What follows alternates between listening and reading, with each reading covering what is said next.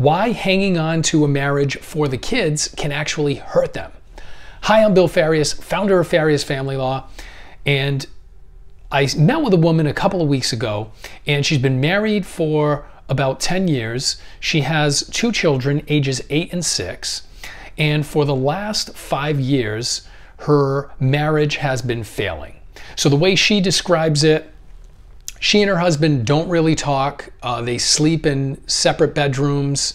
There's a fair amount of arguing. Some of it is in front of the children. And when we talked about next steps, she was afraid to move forward because she didn't want to or doesn't want to disrupt the children. And this is a, a common sentiment. People who have children, especially young ones, don't want to rock the boat. They don't want to do anything that's going to result in significant change because they're afraid of how it will affect the children. But here is something to keep in mind. You want to ask yourself whether the environment that you're living in and specifically the dynamics of your relationship with your spouse is something that you want your children to learn is normal. So, in other words, do you want your, your kids growing up believing that a household devoid of love and affection and respect and communication and joy, do you want them to think that those items not being present is normal? And do you want them thinking that if they are involved in a relationship like that, that that's normal and acceptable and healthy?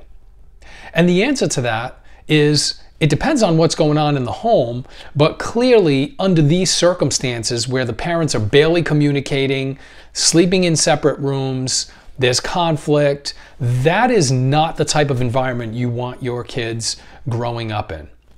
So, how should we think about this? I think the best way to approach this is you have to ask yourself is this marriage salvageable? Can I fix this? And to get the answer to that, number one, you have to figure out whether either party needs some help individually. Sometimes there's a mental health issue, sometimes there is a substance abuse issue. Sometimes both parties would benefit from some individual counseling to get to the root of individual issues that may be affecting the relationship. So, marital counseling is helpful, and I do recommend it to um, help patch up or address the issues that led to the breakdown in a relationship. But first, you have the individual issues that you have to deal with. And this is a very tricky subject because no one is going to, or not many people, are receptive to hearing from their spouse, hey, there are some issues you need to work on. But number one, you have to ask yourself, is there anything I need to work on that's getting in the way of my marriage?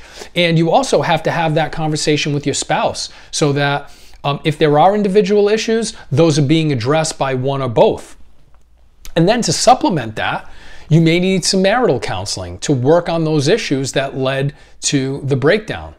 And the way to think about this is if either party is either unwilling to work on these issues, not interested in working on these issues, or if the marriage is just not fixable, then you have to move on.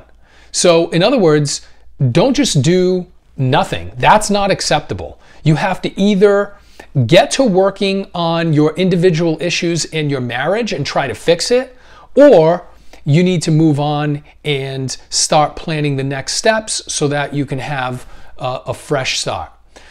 It is not acceptable to continue to live in an environment uh, where there's conflict, where there isn't communication, when there isn't where there isn't love, because you're teaching your children that that's normal, and that is not healthy. So when you're thinking about hanging in there um, in your marriage for your children, ask yourself, is this really helping them? If you have any other questions, you can call us at 508 675 0464. You can email us at info at fariasfamilylaw.com. If you found this video helpful, You can subscribe to our channel and share it with anyone you think might benefit from it. And you can also find us on Facebook and Instagram at Farias Family Law. Thank you. Have a good day.